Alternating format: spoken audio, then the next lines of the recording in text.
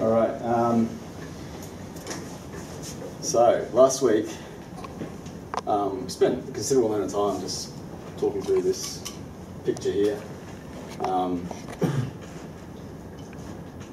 introducing these sigma types and pi types, um, which are generalizations of things that we already know about if we've been following along with the Yorgey lectures. Um, for example, um, if we have the type of either alpha beta, which we can write in type theory as alpha plus beta, so it's the sum type. And if you want to understand why we call it a sum type, you think, well, if this alpha has n possible values and this beta has m possible values, then this either alpha beta, um, because it's either an, an, alpha or a beta, it has m plus m n possible values. So that's why we call it a sum type. Um, now, if you think about how Haskell actually stores one of these, um, like if you, open up the, the runtime, you'll find it's actually storing a pair of things. It's going to store a tag that tells you whether it's the left or the right, um, and then it's going to be stored next to that. It's going to store a value of either an alpha or a beta. So the type of the, the second bit depends on the value of that tag. Um, so when we generalize to this sigma type, what we're really doing is we're just saying, well, instead of just having these finite enumeration tag types, we'll generalize to any type, and then we'll have a function v which takes a value of this type and, and gives us back a type, and then we'll do the sum over all of those types. Um, so by having these, these arbitrary tag types, we have, I guess, a, a richer language of these kind of sum types, but we also have the possibility of infinite sums. Uh, and then the story goes on. Um, but the main reason I wanted to show you that was uh, actually just to give you a little bit of context for this idea of values, sorry, types that depend on values. Uh, so, for example, here in the, the sigma type, um, yeah, we have a, a record. Uh, oops.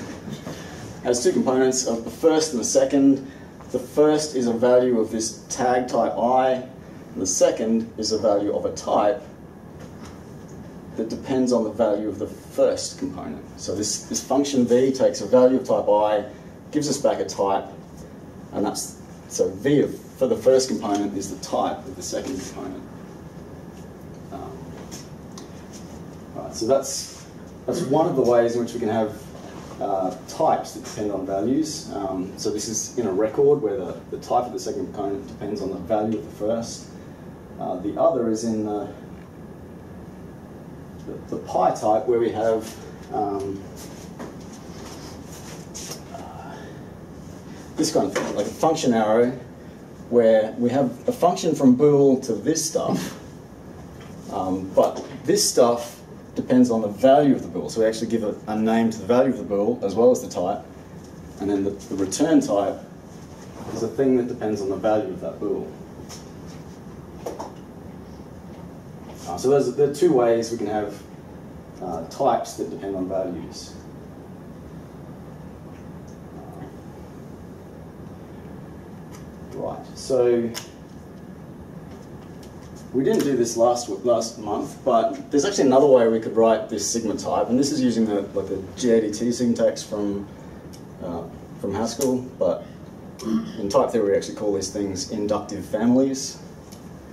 Um, so here we have a, a data type. It's a type. It takes parameter types i, parameter type i, and parameter uh, function v from i to data types has a constructor, comma, um, and then these are like the, the components of this constructor, and this is the type that this constructor gives you back. So in this case, the type only depends on the parameters to the data type and not on these values. But the second component of this constructor, its type depends on the value of the first component. So this is just an alternative way of writing the same thing. It actually has slightly different behaviour in Agda, but um, nothing that's important for tonight.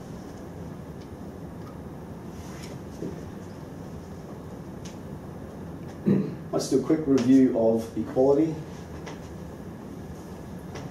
So here is our type describing equality relations. What's this one change? um, so we're actually defining equality as a type here. Um, this is a type that takes a parameter alpha, which is a type, and a parameter x, which is a value of type A. So here again we have a thing here which depends, which is a value of a type which we've just brought into scope. Um, equality is then indexed by another thing of type alpha. Uh, so, so when we when we write down an equality type, we have to give the x, which is the parameter, and then an index of the same type.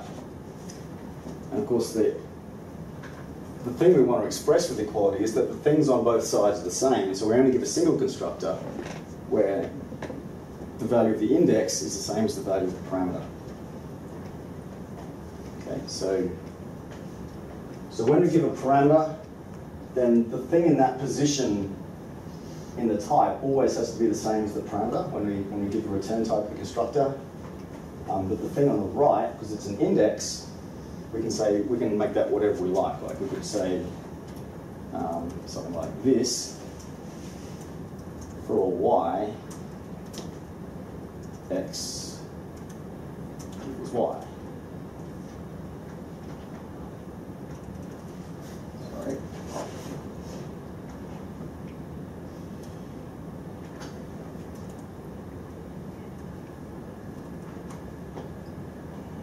It's complaining because I just changed the definition of quality. Um, um, yeah, so, but it's, it's happy with that definition because it doesn't mind that I've changed the thing on the right of the y, but if I try to make this thing on the left a y, it will say no, you can't do that.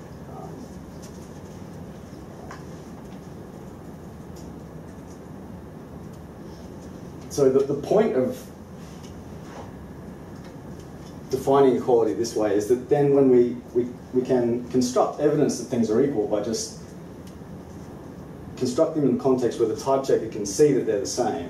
So when I say 2 plus 3 here, um, that reduces to 5, and so the type checker can see that the thing on the left is the same as the thing on the right, so it's happy to accept this um, evidence of that equality. Um, and the other side of that is that when we then pattern match on a REFL, we're in a sense reminding the type checker that we previously checked that some things are equal, and so now the type checker treats those things as equal in the rest of the expression. So when we pattern match on this x equals y, the type checker says, okay, well that, that, that y is really just x, so then it's happy to accept REFL as the evidence that f of x is the same as f of y. Okay, so there's, there's two sides. We have to construct things in a context where the indices make sense, and then when we pattern match on them, we get that evidence back.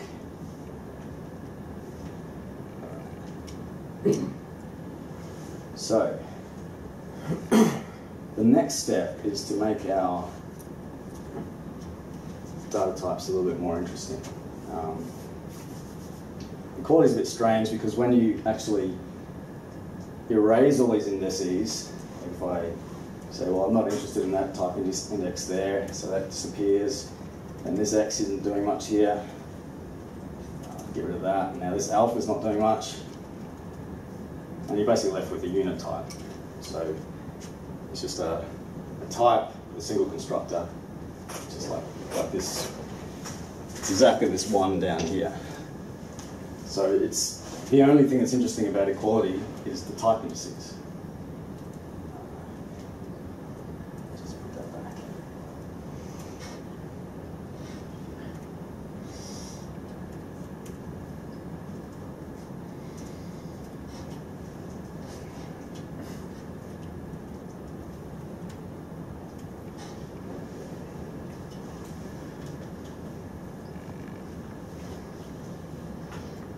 So, to continue the journey,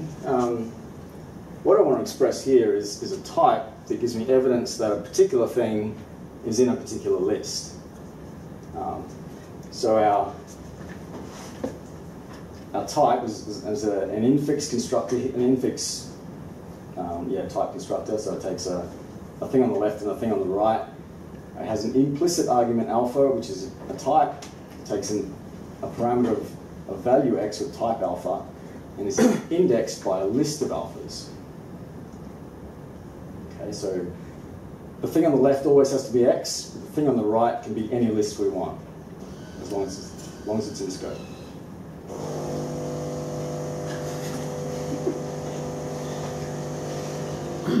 So given that a list can be constructed two ways, it's either the empty list or a cons with a, of, a, of an element with another list, um, we can also say that there are two ways of giving evidence that a particular thing is in a list.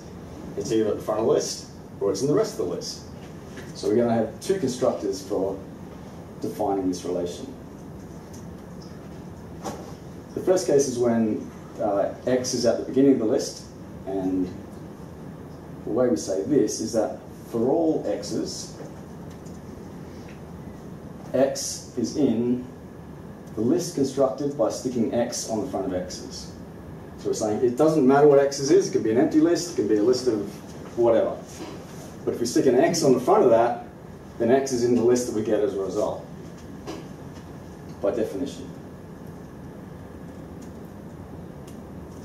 We've got to make that x as implicit. The other case is when x is in the rest of the list, and so we're going to pick out another element on the front, that's going to be y. So for any y and x's, if x is in x's, then x is in the list constructed by sticking y on the front of x's. So we're saying x is somewhere in the end of the list. Okay, so these, these are the two ways that something can be found in a list, and we're, we're essentially defining this relation of what it means for a particular thing to be on a particular list. Okay, so just happy with that. Let's just get some practice at actually constructing these things. I want to construct evidence that 0 is in the list 0, 1, 2. Uh, well, there are two possible ways I could do that. Let's try suc of something. So we'll do the, the magic uh, control C, control space to um, say, does this work? It says, well, I don't know yet. It could be later in the list. Um, so you can see now that the, the goal has actually changed. So now we want to construct evidence that zero is in the list one, two. So maybe it's, or is it zero? No. Is it suc of something? Maybe. Is it zero? Is it suc of something? And now our goal is, there we go. Now our goal is to prove that zero is in the empty list. And if we look at our two constructors, neither of the constructors give us a way of proving that something is in an empty list, because both of these have a non-empty list on the right side of the, the in relation. Okay, so if we try to say zero here, it won't take it, and if we try to say suc of something, it doesn't like that either. So obviously, the mistake we made was right back at the beginning. I was quite happy with that because it can, the type checker can see that this zero and zero is here, so it's able to construct this case here.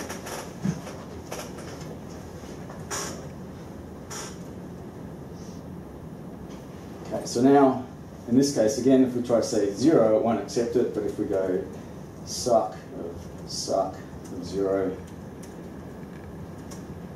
that's quite happy with that. So something to notice here is, is that I've, I've named these things, these constructors with the same names that we gave the constructors of the natural numbers type. Um, and that's, well, it's because Agda allows us to overload constructor names. These are not referring back to the natural numbers, I'm actually making new constructors.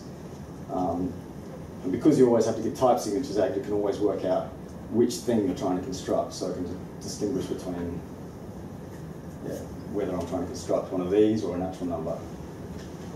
But um, obviously there's there's a good and good value in the analogy here because what we're really doing is we're counting in the number of steps we have to go into the list to find the thing that we're constructing the evidence for. So not only is this evidence that the thing is there, but it tells us where to find it.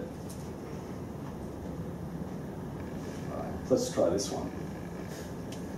Um, obviously, we're going to be a little bit pressed.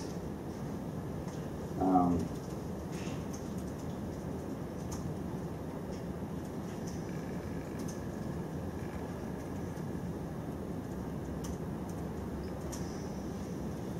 can't say zero, we can maybe say suc.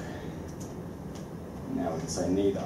Um, so clearly, we're not going to be able to construct something of this type. And remember, if you remember back to our initial equality examples, um, there's a way of actually expressing that you can't construct something. So if you have, have a type that you think is uninhabited, then the way to prove that it's uninhabited is by mapping it into the canonical empty type, which is zero. So we know that we can't construct something of zero. So if we can make a function with this type, then we also know that we can't construct something of that other type. So now that we have a parameter, let's give it a name, make a goal. We can now do the magic case split on bogus, so it's control C, control C. And it's said, well, maybe it's a suc, but you notice that it hasn't actually given us a zero case. Normally when we do the case split, we get, we get one for each case of the the thing, and that's because the type checking can see that these aren't equal, so there's no way that's, that zero, that this could have been a zero, but maybe it's a suc of something, some other thing, because maybe that three is somewhere later in the list it hasn't looked that far yet.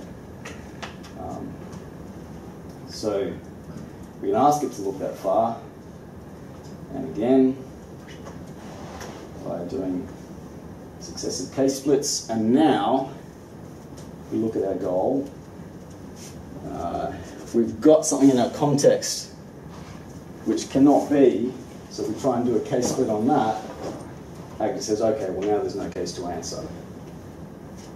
So this open close parentheses is, is Agda's way of saying, okay, you don't have to do anything because I know that that, that thing just doesn't exist.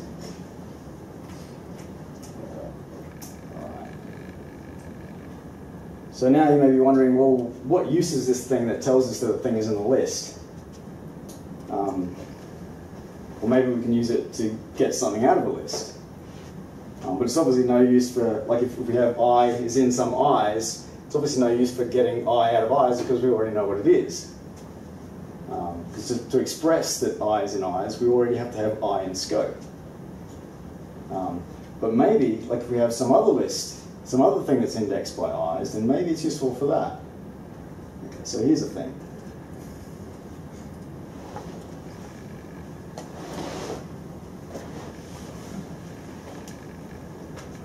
What we're going to make here is a heterogeneous list um, that is indexed by some set, so it's parameterized by some set i implicitly.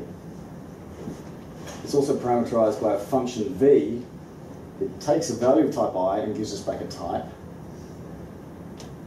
and is indexed by a list of i's. so in the example here, you can see that the idea is, so this is, remember these underscores here become placeholders where you can stick things in a mix fix kind of way. So here we're constructing an example of a heterogeneous list, which is indexed by the list false, true, false, so obviously from that we can infer that uh, index type i here is bool. So we're indexed by the list false, true, false.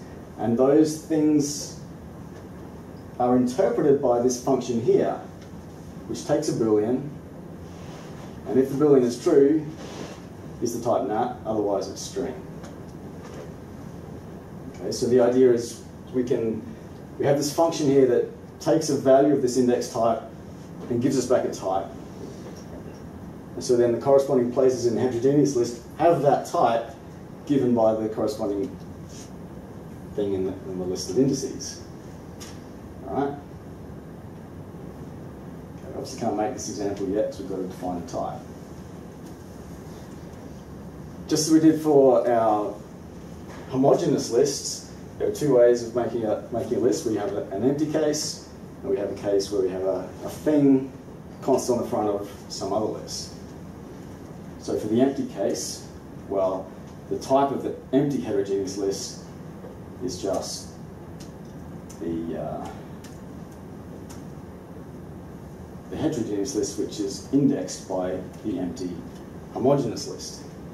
Again, I'm using the same constructor names for homogeneous and heterogeneous lists, um, but they actually mean different things. Okay.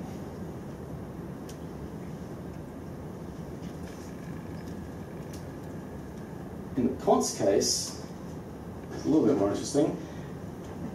What we want to do is we want to stick a value, so it's going to be v of i for some i, on the front of another heterogeneous list, which is also indexed by v, and is indexed by some other list i's, and that's going to give us a heterogeneous list which is indexed by v and is indexed by i cons with i's. Okay, so we're extending the heterogeneous list by extending the index, the, the list that it's indexed by. I've got to bring this i and i's into scope, so I'll just say for all i and i's, and I'll make those implicit. And let's happy with that. Okay, does that make sense? Yep. So I have an index list, which is either empty or a cons. I have a heterogeneous list, which is either empty or a cons. And in both cases, the the types of the two parts of that cons are indexed respectively by the, the same things in the resulting list. Okay, so what do we get here? Our example, we're going to have to provide false converts to a string, true converts to a nat, so we're going to need a list which has a string followed by a nat followed by a string. It's not quite right because I need to terminate the list. Okay, so that type checks. This is not a dynamic language. Um, so that is actually typed, like in the sense that if I made this a string, it doesn't like it.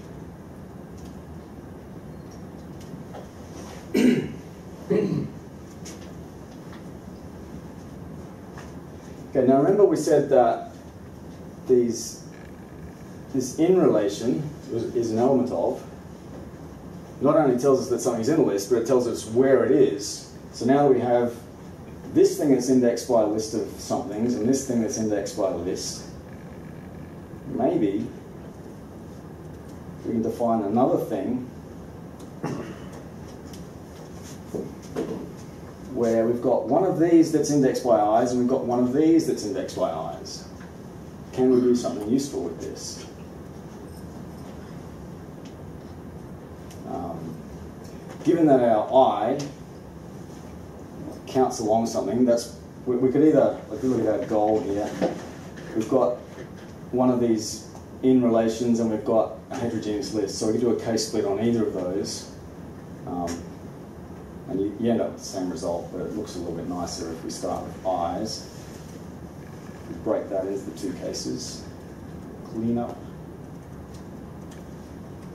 Um, we're going to start with the suc case. We look at our goal, we have have an i which tells us that i, or dot i, is in, in dot x's, and we have an x's, which is a heterogeneous list indexed by a dot y and a dot x's. Um, I don't really care about this y anymore, because I want these things to line up. So I'm just going to do a case split on x's now. Splits it out into an x and an x's. Okay, so now x has some type v of dot i sub 1. I don't even know what dot i sub 1 is. Actually, it's going to be suc of i, so it's like the, the next list out, but we've already gone deeper into the list, so we don't care about that anymore. Um, but now I've got this dot i's in dot i's, and I've got an x's which is indexed by dot i's, which is exactly what these two parameters line up with. So we've got a recursive call here. Just type checks.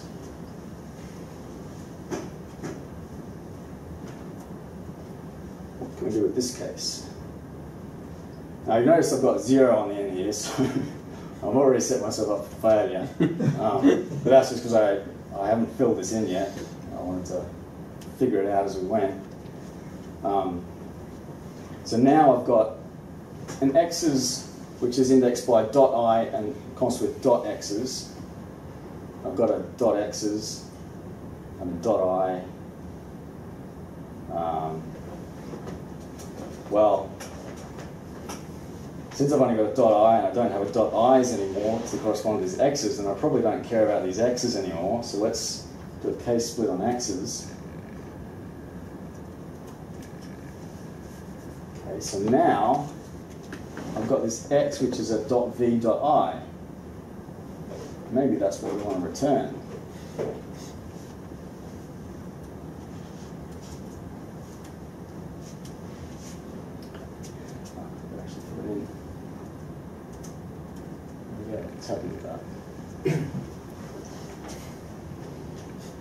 okay, so we've got a heterogeneous list which is indexed by i's. We've got a thing which tells us not only that i is in i's, but it tells us where it is. Maybe if we go to that corresponding position in this heterogeneous list, which is interpreted by v, we'll find a thing of type vi. and that's exactly what we've done. Um, because this is parametric and all of these things, it could not have done anything else.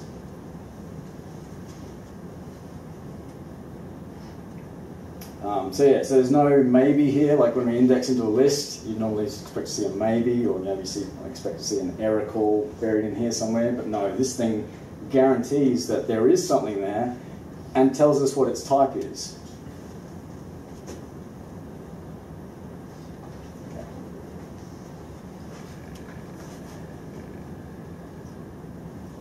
So, for example, if we look at the first spot, which was string, that type checks that it's a string. But if we say suc of zero, it says no, that's supposed to be a nat.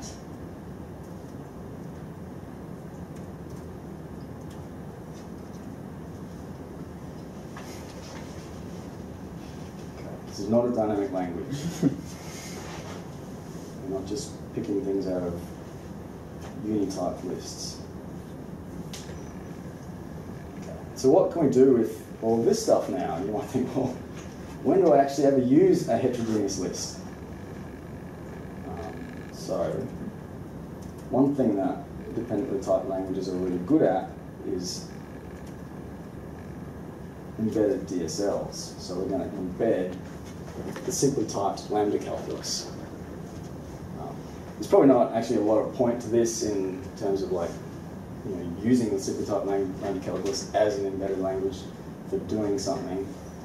Um, but it's a really good example because it, it not only uses a way to demonstrate how these these you know these two relations here make things line up uh, when you're working with you know, interestingly typed things.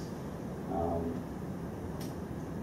it's also uh, probably the smallest language I could come up with that does something that can be quite hard, and that's expressing uh, things that bind values in a DSL. So where you have like a function that takes a parameter, and you've got to somehow give a name to that parameter so you can use it somewhere else in the DSL.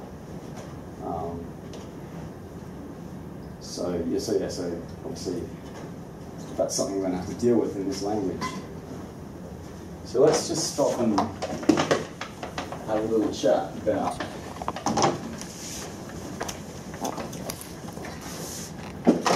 simply typed lambda calculus, what we want to be able to write is something like this function we call twice. This example comes from uh, the lecture series by Conor McBride, uh, which is where I pretty much learned all of this stuff. Um, so yeah, ripped it straight from him. Um, so I want to be able to express the function that uh, takes a lambda of something of type t to t. So, so this is part of the simply typed lambda calculus language. We have to explicitly, sorry, better give it a name. So this is a, a thing which takes a, uh, an argument f of type t to t for some t, and I should really say what t is, but let's say that for any t we could actually make a thing with that t, but the quantifying over this t is not part of the simply type lambda calculus. Um, to the lambda x, which is of type t, I want to say f, f, x. Um, and the way we're actually going to render this in the DSL is to say something like some constructor lam, um, which is, uh, yeah, let's just go straight to De Bruijn indices. Um, so the lam constructor is going to be indexed with um, two things, like the uh, the type of the argument and the type of the result. So it's going to be a t to t, and the result of the whole thing is going to be a uh, t to t.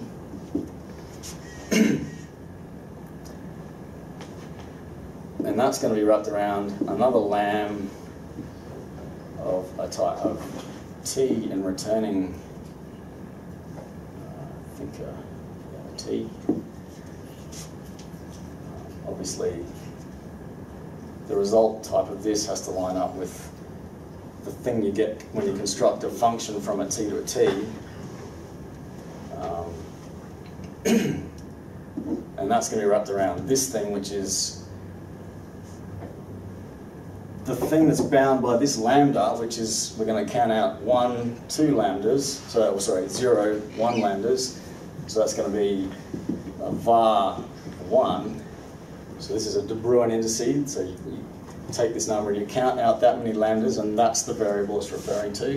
And we're going to use a dollar sign for function application, and then I'm going to refer to var 1 to var 0. So this 0 refers to the first lambda, and these two refer to the second one. Does that kind of make sense? Um, but remember these, these indices here, these types are part of the simply type lambda calculus. We don't, we don't get those inferred for free.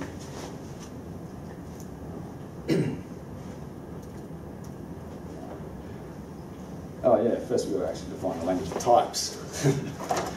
um, there are two ways of constructing types in the simply typed lambda calculus. We have um, some type iota, um, and that's, that's a type by definition. It's like a, a primitive which we're going to eventually render out to some agda type, but we're just going to denote it by iota. And then we have the function arrow, uh, little triangle. So if if we have some type T or some some type S, which is a type, and some type T, which is a type, then we have that uh, S to t is also a type. Okay, so we've just got two ways of constructing a type. There's a primitive type, and there's an arrow type which constructs the function type. So these things would actually be these little triangles here. So, and here is basically the data type that gives us those type constructors. So we have iota, it's the primitive type, and the function arrow takes a pair of types and gives us back the function type from that type to that type. And now that we have this little language of types, we can actually render that as an agda type by just giving a function from type to set. We do a case split on T, control C, control C. We get the two cases, I'm going to name that S, T. And for this one, we just have to choose whatever our primitive type is going to be. So I'm going to choose the naturals. And here, we want to render our simply typed lambda calculus function type as an agda function. So that's going to be something to something. Of course, in this case, we want it to be the interpretation of S in this case, we want it to be the interpretation of T.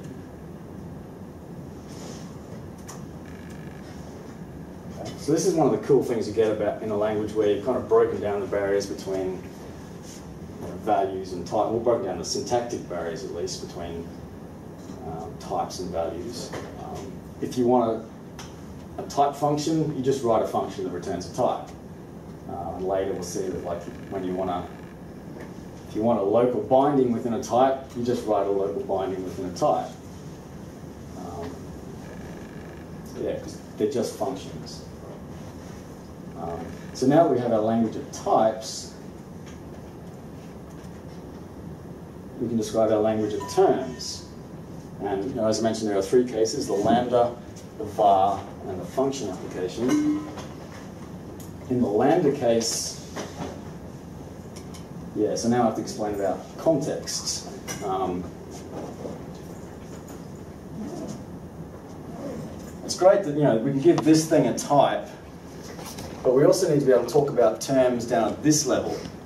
And we need to be able to give this thing a type, even though we're not, well, when we're looking at this, we're not sort of in the context of a lambda. Um, so when we're describing the types of things, we say things have a type in context well, this thing has a type in the empty context, this thing is going to have a type in a context which contains the type of this and the type of this. So type in context is just a list of types, and that's what this thing is here. So a term has a type, is indexed by a type, in a context which is a list of types. So they're the parameters that we're going to have to wrap up in lambdas at some point if we want to get a, a thing that has a type in the empty context. So for the lambda case, we want to build a term in some context gamma that has the type of S to T. And to get that, we provide a term that has type T when the context is ex extended by an extra, an extra type, which is S. So when we go under a lambda, the context grows by the type of this thing. When we go under this lambda, we have two things in our context, so it's extended. Uh, so this will now be the thing at the front of the context, and this will be pushed further down. Um, so that's why you know, we've had De Bruijn indices count from the inside out, because we're basically indexing into this list. So then the var says, well, if, if T is a type in a context, that not only proves that it is there, but where it is, then var of that thing is a term of type T in context gamma. Function application uh, takes two things, both in context gamma. If we have a function from S to T, a thing of type S to T, and a thing of type S, then we construct a thing of type T. pretty abstract, but let's, let's actually build this function.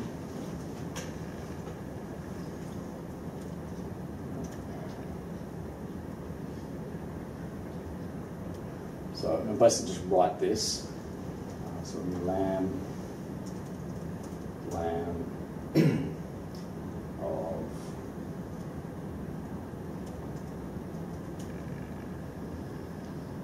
uh, suc zero apply to uh, suc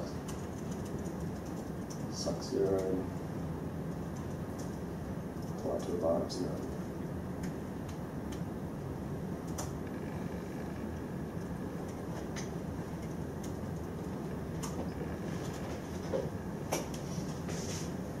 Okay, so this just this, but you notice I didn't have to tell it what these types were. I'm taking advantage of Agda here because when I defined these, this syntax, I said, well, I'm going to make these parameters here implicit. So they're still there, but I'm just making Agda work them out for me, so I don't have to write them myself.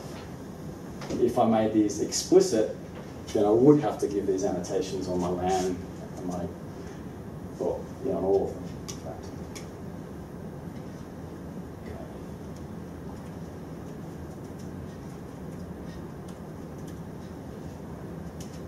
So for our final trick, um, I want to actually render not only the type as an Agda thing, but I want to render this as an Agda thing.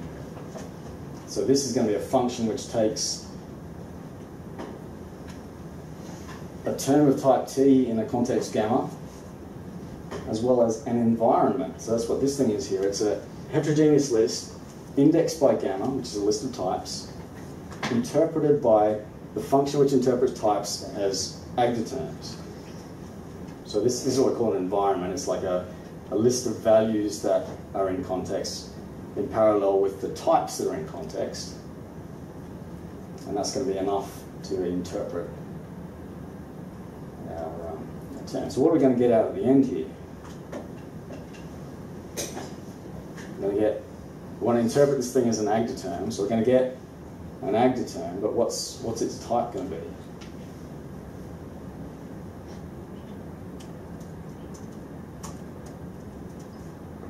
It's going to be a thing of the type of the interpretation of T. All right, so let's. So this is our, our context and this is our term, so I want to do a case split on the term. Let's tidy up a bit here, let's give me an extra parameter there.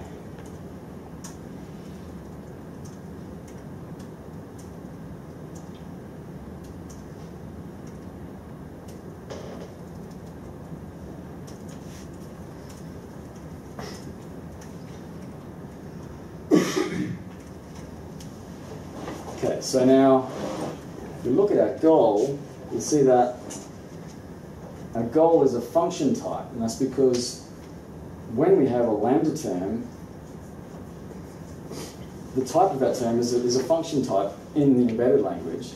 But of course, when we when we take the interpretation of that, we get an actual Agda function. So we can make a lambda here.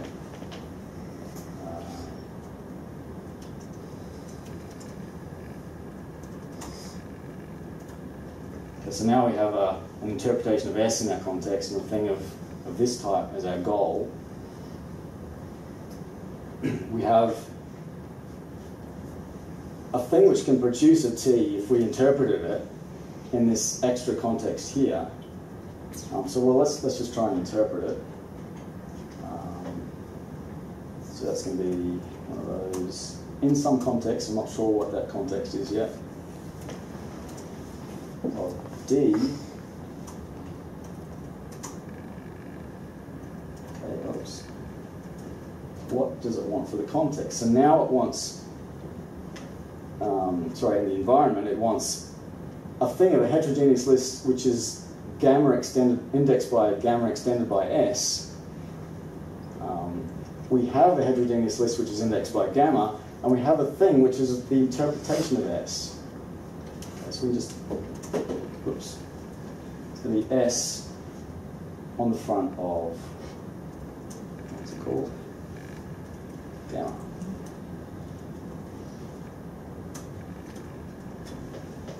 So, so a lambda renders, not surprisingly, as a lambda, uh, where we interpret the body of the lambda in an in extended environment. Just as we extended the context, we now extend the environment. Uh, in this case, we want to produce a thing of type T. We have things we could interpret to get an S and an S to T, so let's just interpret those things in context gamma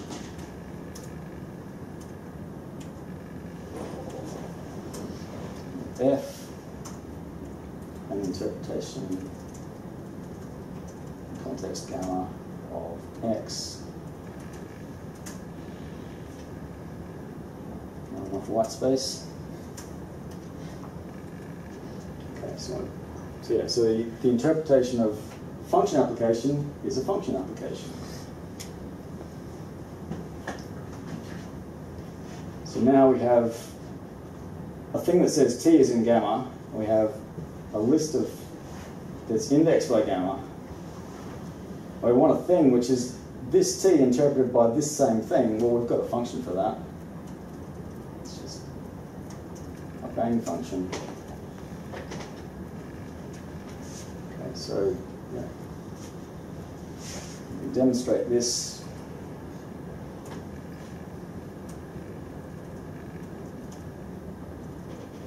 saying, well, let's let this be the interpretation in the empty context. So now it's a closed function.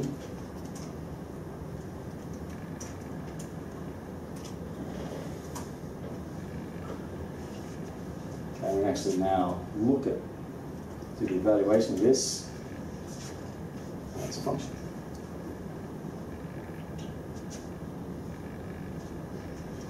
I'm going to stop there. There's a bit more stuff down there that you can play with if you want. This is an alternative way to encode a lambda calculus that actually allows you to use the host language's binding system to describe bindings. Um, yeah. I haven't actually worked out yet how to convert one of those to the De Bruijn form, but it's an exercise for the reader. All right, so I'm going to leave it there. Um, comments or questions? Uh, can I get an explanation for that twice type signature there, that D equals T? In, oh, yeah. Yeah, that last, especially that last four bits there, like, what's going on there? Explain that to me a bit more. So, well, as I mentioned before, like, one, one of the benefits you get when you, you sort of break down the syntactic barriers between you know, values and types is that um, you just write expressions in types. So this is this is the type signature here for this twice prime. Um, when I interpret the, the embedded form of twice, um, I'm going to get a thing which has a type given by the interpretations of this type. So this this t here is is a value in our language of types. Um, so then to get an A type, we have to interpret that type. Um, and just rather rather than repeat this angle bracket T everywhere in here, I just thought I'd just do it once. Yeah. Um, So you can like run twice hyphen suc zero to do the most convoluted plus two.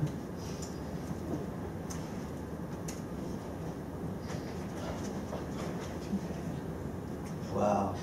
um, yeah, it hasn't worked out which constructors I made yet. Uh, yeah. um, barrels of overloading. It was, uh, it was, nah.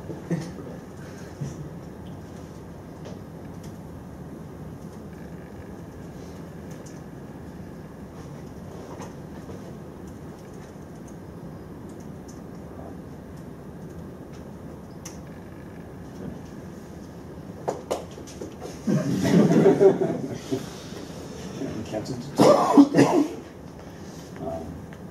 Uh, I thought we told it earlier that we were only gonna do stuff with nats, so how come we couldn't work that out?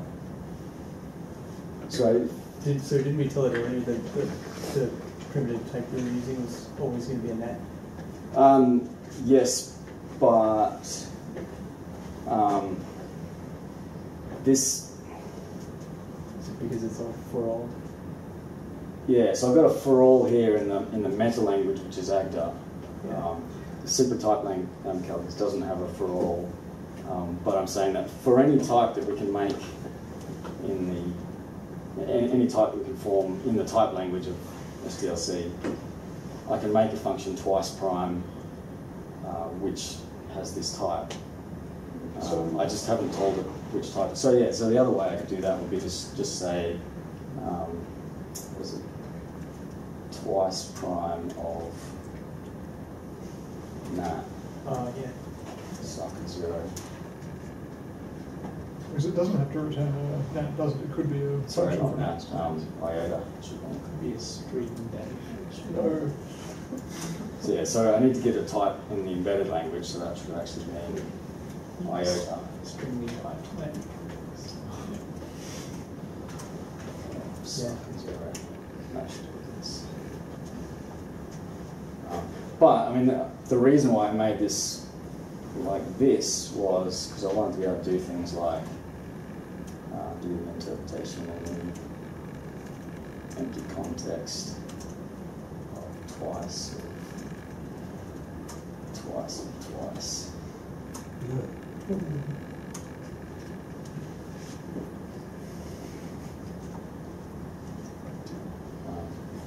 So this in Lisp then. Sorry. All the brackets.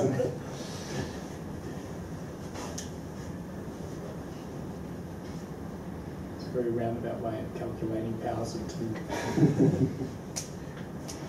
Yeah, but I mean, the, the point of all that exercise is, is not so much to embed the simple lambda calculus, but to show that these types make things line up so that when you when you do a lambda, you get a variable, and then sometime buried in a whole bunch more lambdas and applications, and can do a variable reference, it gets the thing out of the right type.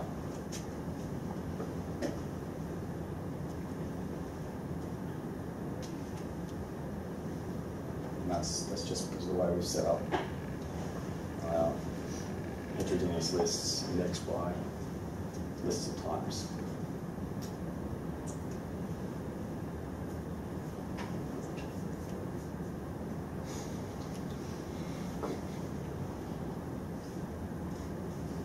Yes. Oh, sweet. Thanks, Mike. Okay, well, that's it.